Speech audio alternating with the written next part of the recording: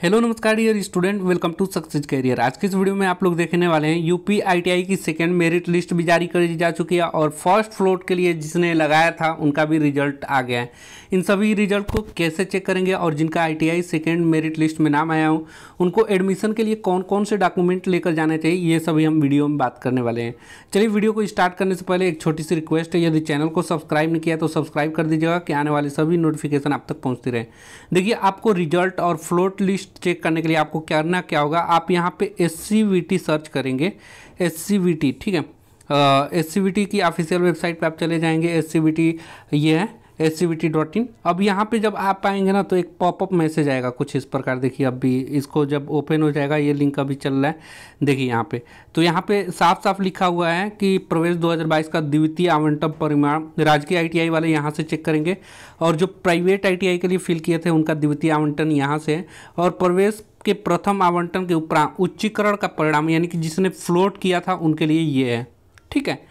अब जिनका फ्लोट होगा, वो यहाँ से फ्लोट पे क्लिक करके, वो क्या करेगा, अपना यहाँ पे रजिस्ट्रेशन नंबर और डेट ऑफ़ बर्थ डालना होगा। देखिए, खुल जाने दीजिए।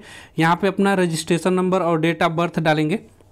और उसके बाद सबमिट करेंगे तो आपका अगर चेंज हो गया होगा तो रिज़ल्ट दिखाई देने लगेगा। उसके बाद आपको चार नौ दो हज़ार बाईस तक जाकर एडमिशन करा लेना है। और जो कैंडिडेट अभी गवर्नमेंट आईटीआई के लिए भरे थे, उनका मेरिट लिस्ट यहाँ से चेक करेंगे। इस पर क्लिक करके आपको करना क्या होगा कि यहाँ पे अपना रजिस्ट्रेशन नंबर डालना होगा। चलिए मैं रजिस्ट्रेशन नंबर और डेट ऑफ़ बर्थ डाल के सर्च कर रहा हूँ।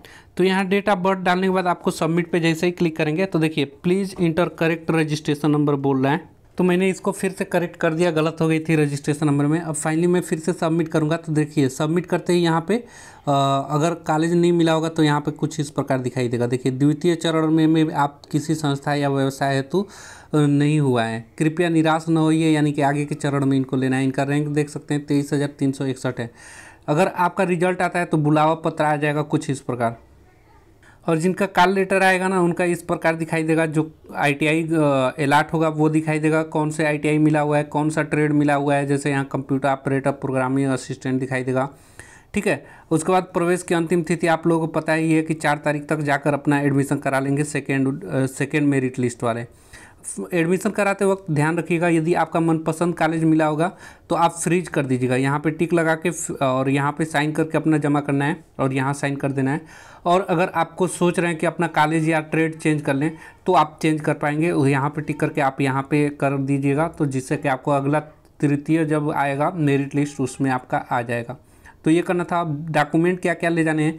तो आपको एक चार यानी कि आपको चार सितंबर 2022 यानी कि ज़ीरो चार, ज़ीरो नौ दो हज़ार बाईस तक क्या करना है, जो आपको आईटीआई मिला है, जिस भी आईटीआई में, वहाँ जाकर अपना डॉक्यूमेंट वेरिफिकेशन करवाएँगे डॉक्यूमेंट क्या क्या ले जाना है तो आप ओरिजिनल ले जाएँगे सारे डॉक्यूमेंट को और उसका फ़ोटोकॉपी ले जाइएगा, जैसे कि हाई स्कूल का अंक पत्र और सनद। सनद बोलते हैं, देखिए अंक पत्र हो गया मार्कशीट और सनद हो जाएगा आपका, वो जो जो नाम, आपका date of birth father name mother name लिखा रहता है, वो।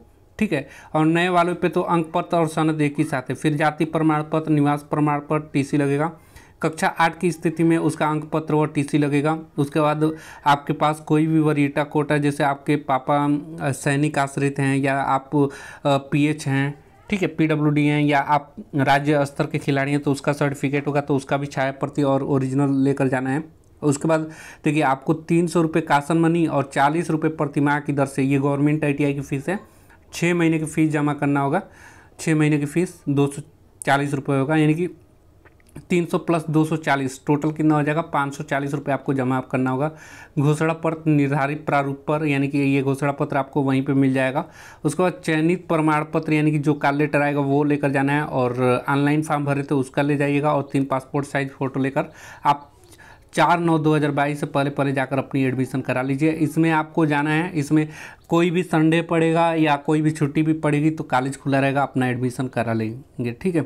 और मैं आप लोगों को बताया, जिनका अभी कॉलेज नहीं मिल पाया तो वो तृतीय चरण के लिए वेट करें, यहाँ पर देखिए, मैं आप लोगों को बता दूँ। और जिन कैंडिडेट ने अभी क्या बोला है कि फ्लोट किया था वो यहाँ से चेक करिएगा, उनको भी जाना पड़ेगा। अगर कॉलेज फ्लोट हो गया तो जहाँ कॉलेज चला गया है, वहाँ जाकर भी डॉक्यूमेंट वेरिफिकेशन और एडमिशन लेना पड़ेगा। ठीक है, ऐसे कैंडिडेट को। तो आप लोग अपनी परिणाम देख लें और किसी तरह की क्वेरी हो तो कमेंट बॉक्स में पूछ सकते हैं। आज के लिए वीडियो में इतना ही। Thanks for watching this video guys मिलेंगे नेक्स्ट अपडेट में। तब तक लिए बाय